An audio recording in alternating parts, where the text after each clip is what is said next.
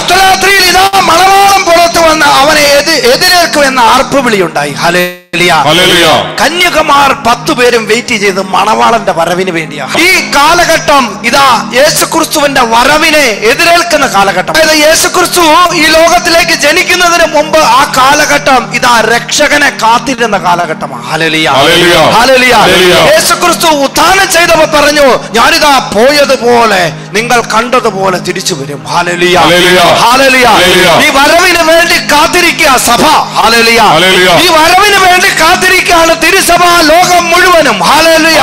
വിശ്വാസ സമൂഹം മുഴുവൻ രക്ഷകന്റെ ഇതാ രണ്ടാം വരവിന് വേണ്ടി കാത്തിരിക്കുക. അത് പത്ത് പേര് ഇതാ കാത്തിരിക്കുന്നവരുടെ കൂട്ടായ്മയെ കുറിച്ചായിരുന്നു നമ്മൾ ചിന്തിക്കുക. കാത്തിരിപ്പിലാണ് വിശ്വാസം ഇരിക്കുന്നത് ഹാലലിയ ഹാലലിയ കാത്തിരിക്കുന്നവനെ വിശ്വാസമുള്ളൂ ഹാലലിയ.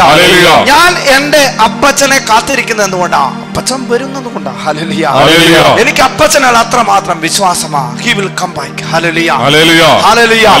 Hallelujah. Hallelujah. വിശ്വാസമുള്ള ആരോട് ചോദിച്ചാലും നമ്മൾ അറിയാം കാത്തിരിക്കുന്ന ആരോട് ചോദിച്ചാലും അറിയാം അവർ കാത്തിരിക്കുന്ന വ്യക്തി വരുന്നത് കൊണ്ടാ ഹലലിയ.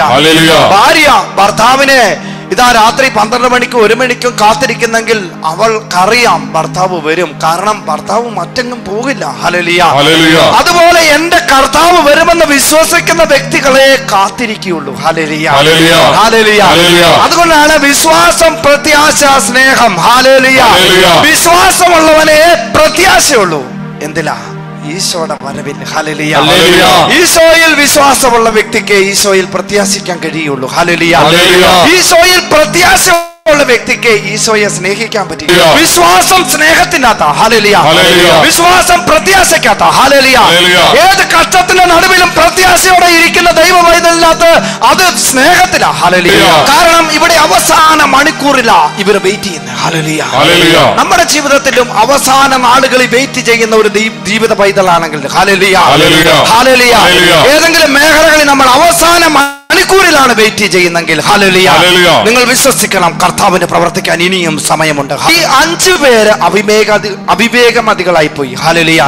എന്നാ അഞ്ചു പേര് വിവേകമുണ്ടായിരുന്നു അഞ്ചു പേര് ഈ വിളക്കിന്റെ കൂടെ എണ്ണ കരുതിയിരുന്നു. അഞ്ചു പേര് കരുതിയില്ല. ഹലലിയ. അതായത് കരുതിയവർ വിശ്വാസമുള്ളവരായിരുന്നു. ഹലലിയ. ഇത് തീരുമെന്നുള്ളത് വിശ്വാസമായിരുന്നു. കാരണം കത്തിക്കൊണ്ടിരിക്കുന്ന അഭിഷേകത്തിൽ ഓടാൻ കഴിയില്ല. കത്തൽ ഇനി മുന്നോട്ട് കൊണ്ടുപോകണമെങ്കിൽ എണ്ണ കഴുതണം ഹലലിയ. ഈ എണ്ണയെ പ്രതിദാനം ചെയ്യുന്ന ഉൽപ്പത്തി മുതൽ വെളിപാട് വരെ എണ്ണയെ പ്രതിദാനം ചെയ്യുന്നത് അഭിഷേകത്തെയാ ഹലലിയ. ഹലലിയ. സാവൂളിനെ അഭിഷേകം ചെയ്തപ്പോ എണ്ണ ഒഴിച്ചു ഹലലിയ. ദാവീദിനെ അഭിഷേകം ചെയ്തപ്പോ എണ്ണ ഒഴിച്ചു ഹലലിയ. ഹലലിയ. പരിശുദ്ധ കത്തോലിക്ക സഭയിൽ മാമോദിസായിലൂടെ നമ്മളെ എണ്ണ ഒഴിച്ച് അഭിഷേകം ചെയ്യും ഹാലലിയ. സഭയിൽ സൈന്യബലത്തിലൂടെ കൂതാശകളിലൂടെ നമ്മളെ അഭിഷേകം ചെയ്യും